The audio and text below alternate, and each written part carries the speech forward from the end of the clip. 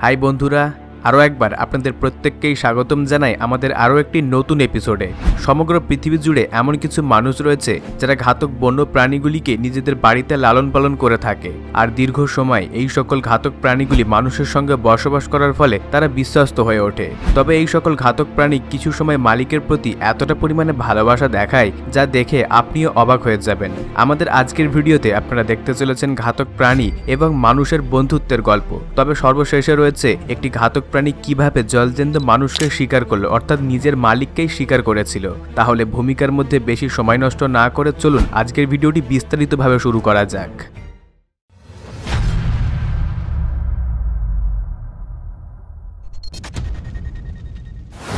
এখানে যে ব্যক্তিকে দেখতে পাচ্ছেন, তিনি বিগত চল্লিশ বছর ধরে কুমিরটির সঙ্গে বসবাস করে আসছে। দুই দশমিক সাত মিটার লম্বা এবং পঁয়তাল্লিশ কিলো ওজন বিশিষ্ট এই কুমিরটি রাত্রিবেলা মানুষটির সঙ্গেই ঘুমাতে যায়। এরই পাশাপাশি প্রায় সময় দেখা যায়, এই ব্যক্তি একটি বাচ্চার মতো করে তার দেখাশোনা করছে। যেমন ধরুন, তাকে সময় মতো খাবার খাইয়ে দেওয়া এরই পাশাপাশি প্রত্যেক দিন তার ব্রাশ করিয়ে দেওয়া। এক্ষেত্রে আপনাদের জানার উদ্দেশ্যে বলে রাখি, ঘাতক প্রাণী কুমিরটিকে এই ব্যক্তি ছোটবেলা থেকে দেখে আসছে। তবে এই ব্যক্তি জাপানের রাস্তায় যখন কুমিরটিকে নিয়ে ঘুরতে বার হয়, তখন প্রত্যেকটি মানুষ এই দৃশ্য দেখে অবাক হয়ে পড়ে। আর এমন কিছু মানুষ রয়েছে যারা তার সঙ্গে ছবি তুলতে ব্যস্ত হয়ে পড়ে। এখন আমরা কথা বলতে চলেছি জঙ্গলের আরও একটি ঘাতক প্রাণী সিংহের বিষয়ে। এটা তো আপনারা প্রত্যেকেই জানেন, আরব কান্ট্রিতে প্রত্যেকটি বাড়িতে সিংহকে লালন পালন করা হয়। তবে এখানে যে সিংহটিকে দেখতে পাচ্ছেন, সে ছোট থেকে ছাগল এবং ভেড়ার সঙ্গে বড় হয়েছে। আর হয়তো এই কারণে এই সিংহটি ছাগল এবং ভেড়াগুলির উপর আক্রমণ করে না। আর প্রায় সময়টা দেখা গিয়েছে, এদের সঙ্গেই খেলা করার চেষ্টা করছে। তবে তার মালিক এই সিংহের পেট ভরানোর জন্য প্রত্যেকদিন দুই কিলো করে মাংস খাইয়ে থাকে। হয়তো এই কারণে সে ভেড়া এবং ছাগলের উপর আক্রমণ করে না। কারণ প্রত্যেক দিন সে পর্যাপ্ত পরিমাণে খাবার পাচ্ছে। তবে বর্তমানে তার মালিক সিংহটিকে আলাদা খাঁচার মধ্যে রেখে দেয়, কারণ সে অনেকটা বড় হয়ে উঠেছে আর একটি ঘাতক প্রাণী যে কোনো সময় আক্রমণাত্মক হয়ে উঠতে পারে। এই কারণে তারা আগে থেকেই সতর্ক হয়ে গিয়েছে। এখানে দেখতে পাবেন যে একটি কাপেল যারা জাগোয়ারকে লালন পালন করে বড় করে তুলেছে। তবে এখন এটা বলাটা সম্পূর্ণ অসম্ভব যে এই কাপেলের মাথায় কি চিন্তা ভাবনা এসেছিল। যে কারণে তারা জাগোয়ারের মতো ঘাতক প্রাণীকে বাড়িতে লালন পালন করছে। এই জাগোয়ার কাপেলের সঙ্গে রাশিয়াতে বসবাস করে আর প্রায় সময় দেখা গিয়েছে তার মালিকের দৈনন্দিন জীবনযাত্রার মধ্যে ব্যস্ত হয়ে রয়েছে আর ইন্টারনেটে তাদের অসংখ্য পোস্ট রয়েছে।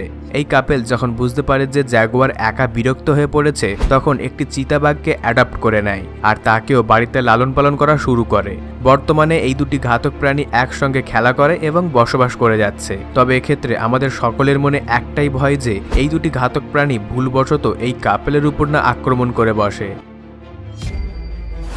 আপনি প্রায় সময় দেখতে পাবেন যে রাশিয়ার বেশিরভাগ মানুষ ঘাতক প্রাণীগুলিকে বাড়িতে লালন পালন করতে চায়। এখানে যে ভাল্লুকের বাচ্চাটিকে দেখতে পাচ্ছেন, সে ভুলবশত শহর অঞ্চলে রাস্তায় চলে এসেছিল আর খাবারের খোঁজে প্রচণ্ড পরিমাণে ছটপট করছিল। যেহেতু বাচ্চাটির মা তার সঙ্গে ছিল না, তাই ভাল্লুকের বাচ্চাটিকে পুনরায় একা জঙ্গলে ছেড়ে দিয়ে আসাটা সঠিক হতো না। এই কারণে তারা সিদ্ধান্ত নেয় যে ভাল্লুকের বাচ্চাটিকে তারা দেখাশোনা করবে। আর দীর্ঘ সময় মানুষের সঙ্গে বসবাস করার ফলে ভাল্লুকের বাচ্চাটি তাদের সঙ্গে ফ্রেন্ডলি হয়ে উঠেছে। এখন আপনি দেখতে চলেছেন আরও একটি সৌভাগ্যবান ভাল্লুককে। কতগুলি শিকারী এই ভাল্লুকটিকে ধরে রেখেছিল, তবে এক্ষেত্রে তাদের চিন্তা ভাবনা কি ছিল সেটা কেউ বলতে পারেনি। কিন্তু এখানে যে ব্যক্তিকে দেখতে পাচ্ছেন, তিনি সম্পূর্ণ সুরক্ষিত অবস্থায় তাকে উদ্ধার করে, তারপর থেকে এই ভাল্লুকের দেখাশোনা শুরু করে। তবে বর্তমানে তাদের মধ্যে একটা গভীর বন্ধুত্ব সৃষ্টি হয়েছে। বর্তমানে এই ভাল্লুক দুশো পঞ্চাশ কিলো ওজনের হয়ে গিয়েছে, আর তার মালিক এখনও পর্যন্ত ভাল্লুকটিকে একটি বাচ্চার মতো করে খেয়াল রাখে এবং তার যত্ন করে। এখন আমরা কথা বলতে চলেছি জলের আরও একটি ঘাতক প্রাণী, অর্থাৎ সার্ক মাছের বিষয়ে। গ্রেট হোয়াইট সার্কের পরে টাইগার সার্ক এমন এক প্রজাতির মাছ যারা সবচাইতে বিপজ্জনক মনে করা হয়। তবে এখন একবার এই ডুবুরিটিকে দেখুন। একটি শার্ক মাছকে নিজের বন্ধু বানিয়ে ফেলেছে আর কীভাবে শার্ক মাছের মাথায় হাত বুলিয়ে দিচ্ছে। এখানে উপস্থিত এই শার্ক মাছ মনে করলে তাদের উপর আক্রমণ করতে পারত। কিন্তু এই ডুবুরির প্রতি তার বন্ধুত্ব গড়ে উঠেছে, আর সে খুব আনন্দের সঙ্গেই আদর উপভোগ করছে। সূত্র মারফত এমনটাই শুনতে পাওয়া যায়, এই ডুবুরির শার্ক মাছের মাথায় প্রত্যেকদিন এইভাবেই হাত বুলাতো, আর এইভাবেই তাদের মধ্যে বন্ধুত্বের সম্পর্ক গড়ে উঠেছিল। তবে আপনি যদি কোনো সময় সুযোগ পান, তাহলে অবশ্যই এইভাবে শার্ক মাছের মাথায় হাত বুলাবেন। হয়তো আপনার সঙ্গেও কোনো শার্ক মাছের বন্ধুত্ব হয়ে উঠতে পারে।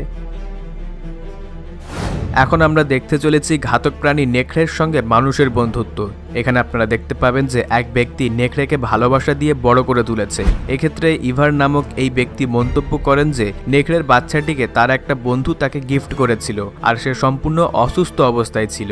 এক্ষেত্রে ব্যক্তিটি আরও মন্তব্য করেন যে নেকড়ে বড় হওয়ার পর একদিন ভুলবশত তার পায়ে কামড় দিয়েছিল আর প্রতি উত্তরে এই ব্যক্তি নেকড়ের কানে কামড় দিয়েছিল। আর এই ঘটনার পর থেকে নেকড়ে আর কোনোদিন ভুলবশত কারোর উপর আক্রমণ করে না। তবে এত কিছুর পরেও এইভাবে ঘাতক প্রাণী নেকড়েকে বাড়িতে পোষ মানানো, অর্থাৎ নিজের বিপদ নিজেই ডেকে আনা। আর এই অবুজ প্রাণী কখন যে কার উপর আক্রমণ করে বসবে, সেটা বলাটা কারুর পক্ষেই সম্ভব নয়। এরই পাশাপাশি প্রত্যেক দিন তাকে কাঁচা মাংস খাওয়াতে হয়। প্রায় সময় আমাদের ভিডিওতে আপনারা দেখেছেন যে জলহস্তির মতো আক্রমণাত্মক বা রাগী প্রাণী হয়তো জঙ্গলের মধ্যে আর একটাও দেখতে পাওয়া যাবে না। তাদের এতটা বড় সাইজের মুখের সাহায্যে তারা যে কোনো প্রাণীর মাথাতে একবারেই কামড় বসাতে পারে। এখানে আপনি দেখতে পাবেন যে সে কীভাবে একটি বড় সাইজের তরমুজ গোটা গিরে ফেলল। তবে দু হাজার সালে জেসিকা নামক এক মহিলা একটি বাচ্চা জলহস্তি দেখতে পায়। তবে ভয়াবহ বন্যার কারণে এই বাচ্চাটি তার মায়ের কাছ থেকে ভেসে চলে এসেছিল। এই সময় বাচ্চাটির অবস্থা এতটা পরিমাণে খারাপ ছিল যে সে হয়তো এক থেকে দুই দিন বেঁচে থাকতো। তারপর জেসিকা নামক এই মহিলা তার দেখাশোনা শুরু করে দেয়। পরবর্তীতে এই জলহস্তি একটা নতুন জীবন ফিরে পায়। বর্তমানে তাকে একটি বাচ্চার মতো করেই তারা লালন পালন করে। আর এই জলহস্তি তাদেরকে অনেকটা পরিমাণে ভালোবাসে। তবে আপনাদের জানার উদ্দেশ্যে বলে রাখি, জলহস্তি এমন একটি প্রাণী যে প্রত্যেক বছর সিংহের থেকে বেশি মানুষের উপর আক্রমণ করে। যে কারণে এই কাপেল জলহস্তিটিকে জঙ্গলের মধ্যে ছেড়ে দিয়ে আসে। কিন্তু তাদের মধ্যে এখনও পর্যন্ত বন্ধুত্বের সম্পর্ক রয়েছে রয়েছে এতক্ষণ তো জঙ্গলের অনেক রকমের প্রাণীদেরকে নিয়ে বিভিন্ন রকমের কথা হলো। তবে এখন আপনারা জানতে চলেছেন পাইথন সাপ সম্পর্কে কিছু অজানা তথ্য। এখানে যে ব্যক্তিকে দেখতে পাচ্ছেন, তার বাড়িতে পনেরো ফুট লম্বা একটি পাইথন সাপ রয়েছে। অ্যাড তাকুয়া নামক এই ব্যক্তি ইংল্যান্ডে বসবাস করেন, আর তিনি বাড়িতে দুটি বড় সাইজের পাইথন সাপ পুষে রেখেছেন। যদিও বা পাইথন প্রজাতির সাপ মারাত্মক প্রকৃতির শিকারী প্রাণী হয়ে থাকে, আর এমন অনেক ঘটনা রয়েছে যেখানে দেখতে পাওয়া যায় অজগর মানুষের উপর পর্যন্ত আক্রমণ করেছে। এই প্রসঙ্গে অ্যাড তাকুয়া মন্তব্য করেছেন যে, এই দুটি অজগর সাপ নিয়ে তার কোনো রকমের মাথা ব্যথা নেই, বরং এই দুটি অজগর সাপ তাকে প্রচণ্ড পরিমাণে ভালোবাসে আর তাদের মধ্যে গভীর বন্ধুত্ব রয়েছে। তবে আপনাদের জানার উদ্দেশ্যে আরও কিছু তথ্য দিয়ে রাখি। এই দুটি অজগর সাপ কিছু সময় দেখতে পাওয়া যায় তার মেয়ের সঙ্গে খেলা করছে, আর তার নিজের মেয়েও সাপ দুটিকে প্রচণ্ড পরিমাণে ভালোবাসে। এখানে যে ব্যক্তিকে দেখতে পাচ্ছেন, সে চিড়িয়াখানায় বাঘের দেখাশোনা করত আর তাকে সময় মতো খাবার দিত। তবে একদিন ভুলবশত সে বাঘের মুখোমুখি হয়ে পড়ে। এক্ষেত্রে সে বাঘের থেকে ছাড়া পাওয়ার জন্য বারংবার হাত জোড় করে কিছু একটা বোঝানোর চেষ্টা করছে। কিন্তু এক্ষেত্রে বাঘের শিকার করার মুড ছিল আর তাকে নির্মমভাবে বাঘের শিকার হতে হয়েছিল। ইউটিউব থেকে কিছু রেস্ট্রিকশন থাকার জন্য এইরূপ ভিডিও ক্লিপ আপনাদেরকে সরাসরি দেখাতে পারছি না। তবে এর আসল ভিডিও ক্লিপের লিঙ্ক এই ভিডিওর ডেসক্রিপশনে দেওয়া রয়েছে। আপনি চাইলে সেখান থেকে গিয়ে দেখে আসতে পারেন।